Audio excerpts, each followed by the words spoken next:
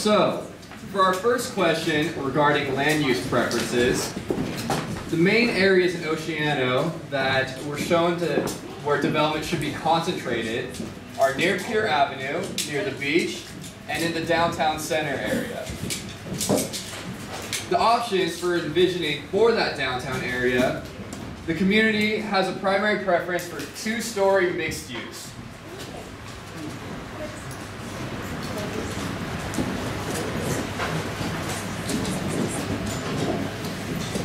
For the third question, regarding what the community envisions for replacing the airport, they would like, there's a pretty even split between a mixed-use town center and a recreational facility slash open space. The types of amenities they would like to see within walking distance of their home, the main would be retail stores and increased public facilities. Next is circulation.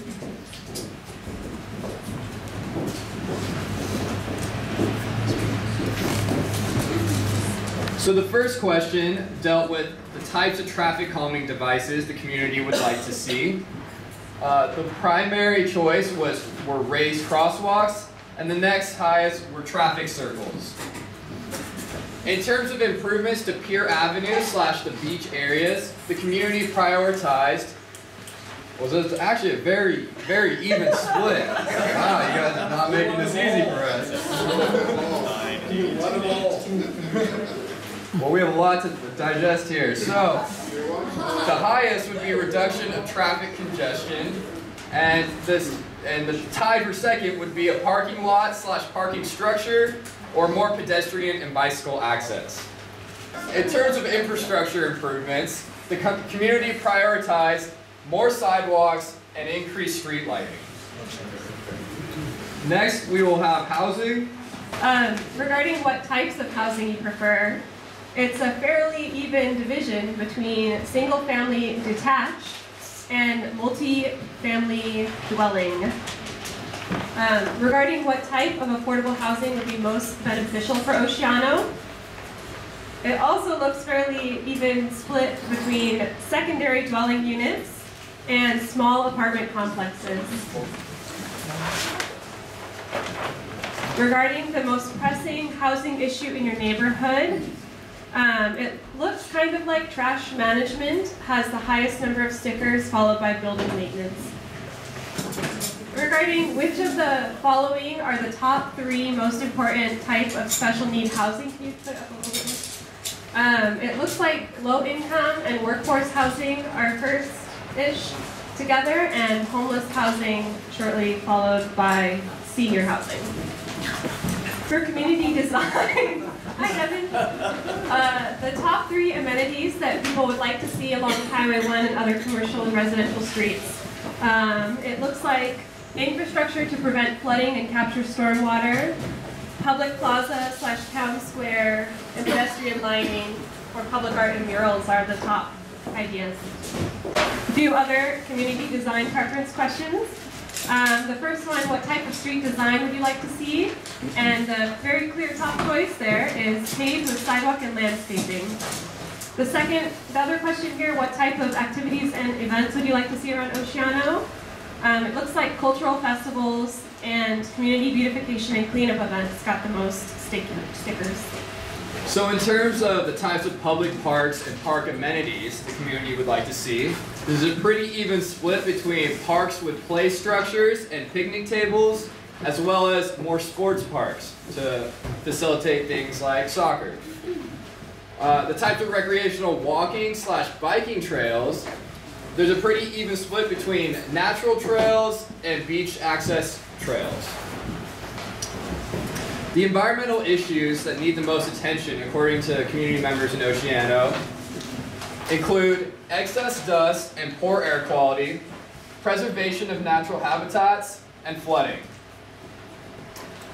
And the main reason community members want to preserve the dunes is to preserve the unique beauty and habitat preservation. Next, we will have noise.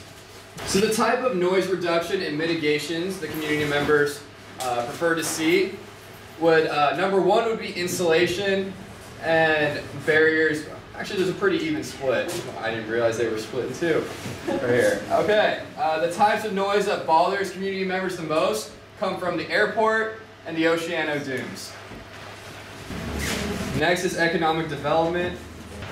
The areas of Oceano that the community feels uh, should be prioritized to be built up are Front Street or Highway 1 and Pier Avenue.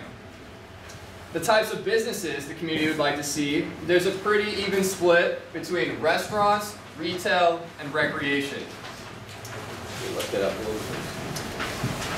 And what community members feel will attract more businesses to Oceano are improved buildings and spaces, as well as incentives for new businesses. The biggest issue uh, community members feel is, uh, in terms of public facilities, uh, deals with flooding.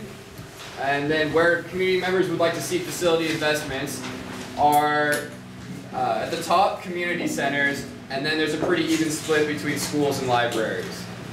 Regarding health, and the question, what would encourage you and or your family to be more active? It looks like nature trails and paths is shortly ahead of bicycle and pedestrian friendly streets. Let's get out and walk more, huh? uh, what type of health center changes would you like to see in Oceano? It looks like more walking and biking infrastructure took the lead. For the question, what healthcare specialties are most needed in Oceano? Mental health, um, homeless services, and family services are the top three there. The environmental justice. Regarding what the biggest environmental issue facing Oceano, dust and poor air quality has the most votes. Um, for which strategy would you prefer to better manage and control vehicle traffic in the dunes? Um, looks like limit off off-road vehicle use and close close Pier Avenue are about tied. Um, regarding which alternative mode of transportation would you like to see improved? Walking and pedestrian paths has the most stickers there. Um, regarding how would you rate the amount of affordable housing in Oceano, it looks like fair is the general consensus. Um, to the question, what is your biggest safety concern as a resident of Oceano? Tsunami slash flooding hazards is there. Um, to what, what do you consider the most pressing flooding hazard? It looks like the most votes goes to the Arroyo Grande Creek flooding. Um, which strategy do you prefer to better control flooding? A tie between curb and gutter improvements and storm drainage improvements. To the question, what is the most important safety issue for long-term viability? I think there's more answers to that question. um, but building resilient infrastructure has the most stickers, I think. Jeff first. Thank you again so much for your participation today. We are now going to take this feedback and combine it with our research to finalize our background report about the community of Oceano. We will have a short winter break, and when we resume in January, we are going to start developing alternative paths for the future. Our next visit will be in February. We will send out flyers and notices to the community and post on our website and Facebook pages prior to the meeting.